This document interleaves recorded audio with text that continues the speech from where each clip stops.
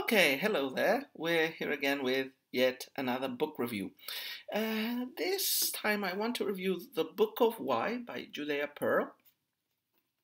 And because I know that, you know, I've taken a lot of notes, so some of these reviews that I'm making can be pretty lengthy. I'm going to try to split it into parts that are at most 15 minutes long because nobody watches any YouTube video that lasts more than, perhaps even more than 10 minutes. But uh, let's see if we can work that out. So as usual, let's start with some background about this book, some information. The edition I'm reading is the Penguin one. There is a hardback uh, edition that is before this one. The Book of Why is a book written by Judea Pearl and Dana Mackenzie. And information, as I said, this edition is published by Penguin University Press. It was published in um, 2019, so that's uh, four years ago. Uh, quite a hefty book. I mean, it's not that big in number of pages. That would be a little bit less than 400. The, the, the pure text of the book, uh, without the notes and everything, is 372. But it's quite dense. Mm, it's quite a dense book. Uh, I would definitely recommend it. But, but that, that I'll comment on that at the end of it, or in the last review. Uh, what is this book about? What type of book is it? Uh, I would generally classify it into a popular science book, although the requirements that it makes on the reader in a lot of chapters, especially thinking of chapters 7 and 8, mm, will mean that if you have some background in um, statistics, you will definitely be able to profit from the book much more than if you don't. If you've taken a university undergraduate course in, in statistics, it will take you a long, long, long way. So, uh, what's the topic of the book? So, a very general, um, uh, a very general reflection. This is a book in which uh, Judea Pearl reflects about um, the incorporation of causation into statistical models. The main thesis the book seems to make is that traditionally, statistics from its origins until today has basically ignored um, causation and it has just stayed at level of correlations. And there are reasons why why it followed this path. But anyway, he considers it a wrong path. And in his own personal work, he has been fighting since at least the 80s, if not earlier, to, to incorporate causal causality and, and, and uh, causal thinking into statistics, as he believes it makes it gives it greater explanatory power and so on. It's also connected with machine learning, which is was which was the field in which Judea Pearl started working. And uh, one of his main theses is, is, that we can only create intelligent uh, machines, that is, uh, intelligent artificial intelligence. That sounds a bit of an oxymoron. Uh, if we incorporate causal thinking patterns into the ways that um, machines um, conceptualize the world. He, he believes that will be a, a very, very important um, factor in, in, in developing intelligent artificial intelligence. Um, he he has a stake in this issue. Like this book is at the same time a general overview of the history of statistics, which is juxtaposed and contrasted with the development of um, a sub branch of statistics in which he was, uh, Judea Pearl was the co-founder, which is called causal inference, which tries to incorporate causality basically through um, this sort of arrow diagrams that, that, that, appear in, in the letters of the Book of Why. We could perhaps give a bigger or, or a better example from the book, you know, things like this and others. So these arrow charts uh, allow to see causality and allow to work with it. And um, they, they, or this one, and being able to make a good mm, a good causal diagram is the first step to applying then complex mathematical tools to to to, to checking and getting information out of the graph. Uh, so I, I, was saying there is at the same time a story of statistics which is mixed with Judea Pearl's personal story of developing uh, inferential calculus. Uh, sorry, um, developing the, the the causal uh, causal inference. So he starts explaining how he worked in something when in I think it was in the 80s that was called Bayesian uh, Bayesian analysis. uh, Bayesian network, sorry, and uh, well, he explains that uh, you know Bayesian networks were a way of trying to get machines to move from from from just having to act out on all the input that is given, and and rather to you know calculate probabilities of different outcomes. So so guessing, may, making some guesses, some causal, some proto-causal uh, guessings and uh, well, he, he explains that, you know, after that, that got him running into the path of actually incorporating uh, causality into statistics. He afterwards explains how he developed um, different mathematical and intellectual uh, tools, basically um, uh, the do calculus and a few other uh, mathematical techniques that allowed him to, to, to deal uh, rather successfully with statistical issues.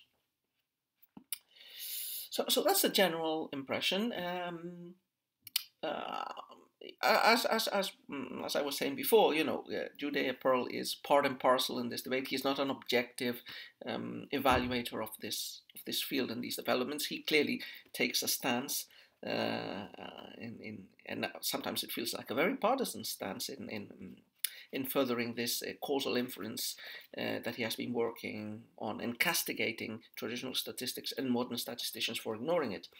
And you know he makes a good case, uh, like like he he he takes the, the example of tobacco and shows how the rejection of causality really really made it up an uphill battle for for scientists in the 50s and 60s to get the causal connection between tobacco smoking and cancer accepted. So yeah, very controversial in some respects. Okay, so so this is the overview of the book. I think uh, we should go into a little bit more detail. And while I was reading, I took a lot of notes. So I'm going to dissect the book chapter by chapter. And the book has ten chapters. So let's start with the first one. So the first one is called uh, mm, The Ladder of Causation. And basically this chapter explains that like when you analyze reality, you have like these three levels. There's a very interesting graph that he shows in, in, in, in the perception of causality and how it affects uh, how, how organisms work with it. This is, this is the graph, the picture. So he says there's three levels. Uh, there's the lowest level, which is uh, association, which uh, something that even mm, very primitive machines uh, or very basic animals can do. There's a second uh, rung, which is intervention, which is you know asking questions like, what happens if I do this? What happens if I do that? What would Y be if I do X? How can I make Y happen? And humans probably were the first creatures to really develop this in, in, in in a complex way.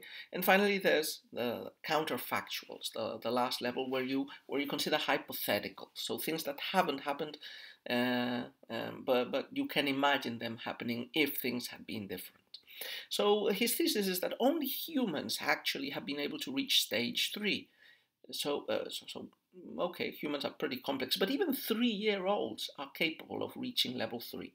So, so it's not just intelligent humans, not just Einsteins.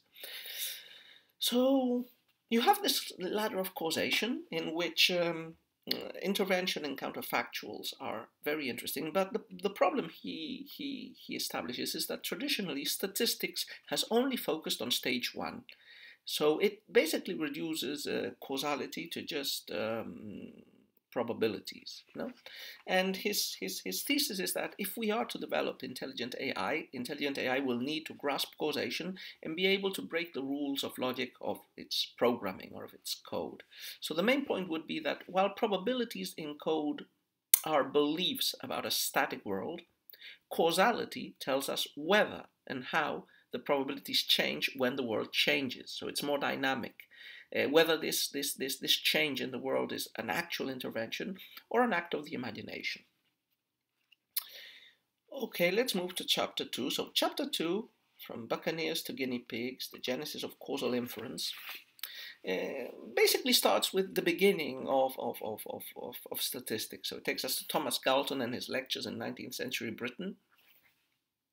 And well, he explains how Thomas Galton, uh, the father of statistics, discovered the quincunx which is this fancy contraption here, uh, which when you pour balls on top, it, randomly generates something like a normal distribution. And uh, his first interpretation of this was that there was a causal law of nature at work here.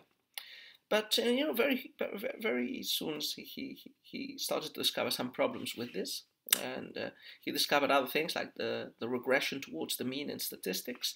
And Galton changed his mind, and he decided that um, correlation was not necessarily causal, and in fact, he he decided against using causality in talking about correlations or statistics. And this was continued by Galton's um, disciples, uh, like Pearson. Like uh, he he insisted that causation is just repetition, and that um, anyway it's unprovable. He becomes the the pope of the new statistical church, the church biometric. And uh, so he starts a path that leads to the rejection of uh, any attempts of including causality in the field of statistics. That is the, the famous maxim that correlations in statistical data do not equate causation. Um, still, Pearson has to deal with problems like uh, correlations that are spurious. That is, correlations that that clearly are just you know um, the result of chance and where there's no connection between one or the other. Uh, well, um, um, the book continues talking, and he mentions Mm, like a counterexample, which is a scientist called Sewall Wright. Mm, and uh, Sewall Wright um, seemed to be making a case for causation, although he wasn't strictly a statistician, so, so he was relatively outside from the field. And um, this, this scientist, Sewall Wright, was studying the heredity of guinea pigs and you know, he elaborated a mathematical model, path diagrams that included causation. And through this work, he, he managed to, you know, to make a sort of merging, a marriage between data, the quantitative side, and arrow information, which transmits uh, the qualitative side of information. So an important aspect of, of Sewall's investigation is the idea that causal analysis is not the same thing as causal discovery. And uh, his approach required like um, scientific thinking and a degree of subjectivity, you know, rejecting canned procedures. One of the good things or bad things of statistics is, you know, you have a series of canned mechanisms that you use for processing data. You don't have to think really much about the meaning um, beneath the data and so on.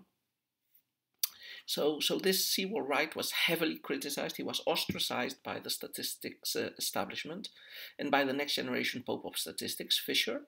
So he remains like a, a lonely hero, like defending defending a causal incorporation of, of, of statistics, of, of causality into statistics, but he mostly gets ignored, as, as happens in a lot of scientific fields when there is a strong established paradigm and you know any other alternatives are just rejected.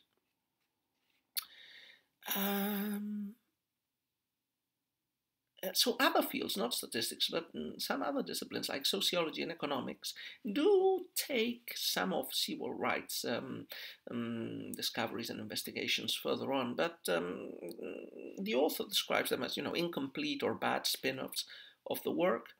Um, Sewall had a long life, and even as late as 1983, he keeps participating in conferences and insisting on the fact that data is not enough, that, you know, the traditional statistical mm, reliance on the first rung of the level of causation, thinking that just accumulating enough data and just uh, using the, the traditional tools of statistics will allow you to get all the information you need to get will not pay off.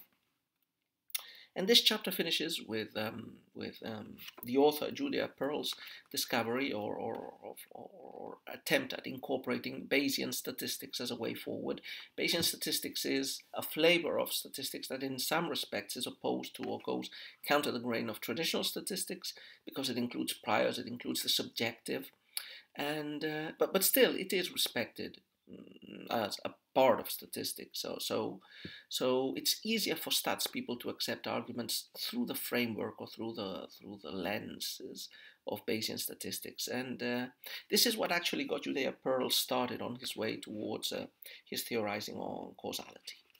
So this is, uh, we've got to the end of chapter 2 and I think I'll leave this video for now. And uh, in the next video I will continue making summaries of different, uh, different uh, chapters that follow.